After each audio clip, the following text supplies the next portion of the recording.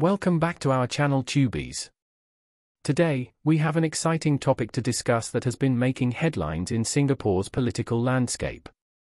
We'll be delving into the recent statements made by presidential hopeful Tan Kin Lian and the reactions of political analysts. So, if you're interested in Singaporean politics and want to stay informed, make sure to watch this video until the end.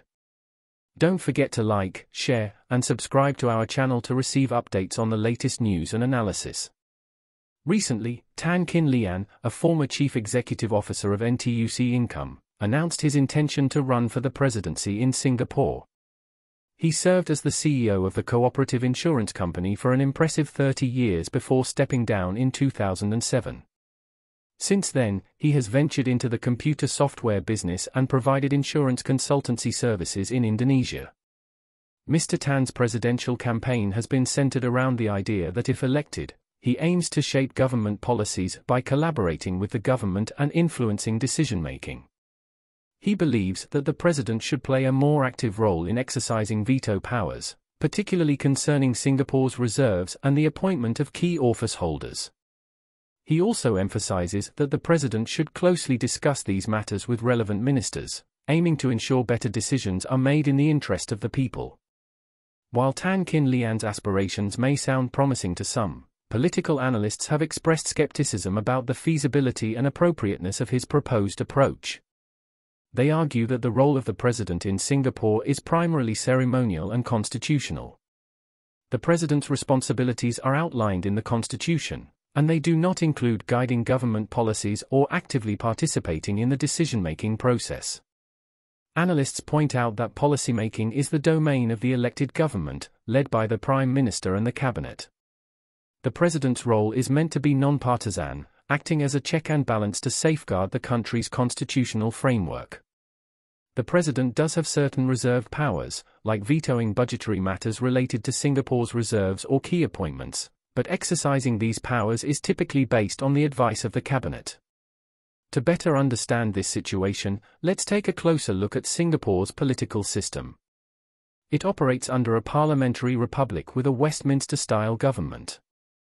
The Prime Minister is the head of government, and the President serves as the head of state. The President's role is largely ceremonial and symbolic, representing unity and continuity in the nation. Singapore follows a multi-party system, with the People's Action Party, PAP, being the dominant political party since the country's independence in 1965. The president is elected through a presidential election, and candidates must meet certain eligibility criteria to run for the office. The president's term is limited to six years, and the president does not hold executive powers or run the government on a day-to-day basis political analysts have raised concerns that Mr. Tan's proposed approach, seeking to influence policies and actively engage with government ministers, could blur the lines between the president's constitutional role and that of the elected government. They argue that it's essential for the president to remain impartial, and not be seen as advocating for specific policies or political agendas.